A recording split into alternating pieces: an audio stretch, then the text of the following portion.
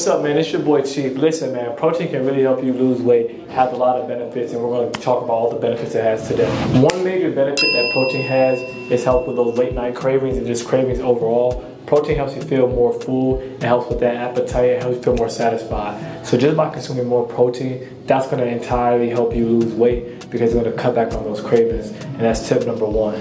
Another major benefit for consuming protein is also helps with muscle size the more protein you consume, the more muscles you can potentially grow. Yes, you have to go to the gym to send signals to your body for your muscles to grow, but ultimately by increasing your protein and working out, that's going to increase your muscle mass, which is going to help you burn more weight. It's easier for me to burn more weight because my body naturally has more muscle versus like the fat. Muscle weighs more than fat, so typically I burn more calories just by having more muscle mass. So the more protein, the more muscle, the better. So that's another benefit of increasing your protein intake. A third benefit of increasing your protein intake is also increasing your muscle mass, which is gonna help with that belly fat. And by getting rid of belly fat, that's gonna help because belly fat surrounds those organs and we don't want a lot of belly fat around our organs. So we really wanna make sure that we're building muscle. So by increasing our protein, that's gonna help increase more muscle, which is also gonna help burn that belly fat, which is gonna help overall with our digestive system and also getting rid of the belly fat around our organs.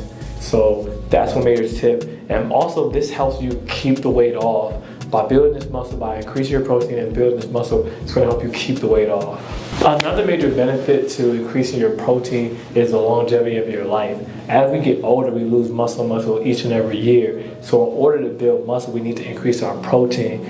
Just by increasing our protein and cutting back on those carbs and our fats and our macronutrients, that's going to help us stay lean and build as much muscle as possible because remember, every year we get older, we're losing more and more muscle. So it's important to build up enough muscle by the time we get to our 60s, 70s, 80s. So if we're not eating protein, if we're not consuming protein in our early 20s, then that's going to set us up on the back end because we're not going to have a lot of muscle once, we, once our body starts to break down. That's why you see so many people have injuries and things of that nature, and it's really hard for them to walk as they start to age. So protein really can help with also aging and help with that elderly age of you know being able to walk and being able to pick yourself up going up and down steps. That's another benefit. Lastly, another benefit to increase your protein intake, it helps your body recover. If you're having shoulder pain, back pain, neck pain, or muscle pain, anything like that, you need protein to help you recover. Carbs only give you energy, but by increasing your protein intake, that's gonna help your muscle, that's gonna help your body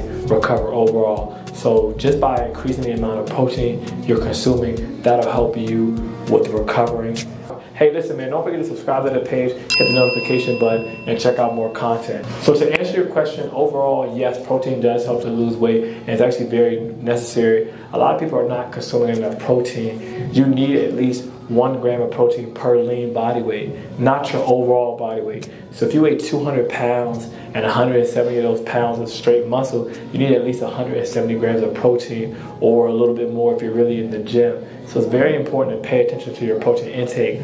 Oftentimes when you're going out to these fast food places, they're giving you a bunch of rice, they're giving you a whole a lot of carbs, a lot of fats, and they're giving you a little bit of protein. It needs to be the other way around. So I really recommend you guys focus on consuming more protein. I know it can be quite expensive, but it can be very beneficial. So please make sure you're upping your protein intake. Lastly, don't forget to subscribe to the page, hit the notification button for future content coming out, and so that way you'll be notified of every video I put out. Stay tuned. Conteh Performance, we out. Let's get it. No watch, no diamonds, no watch.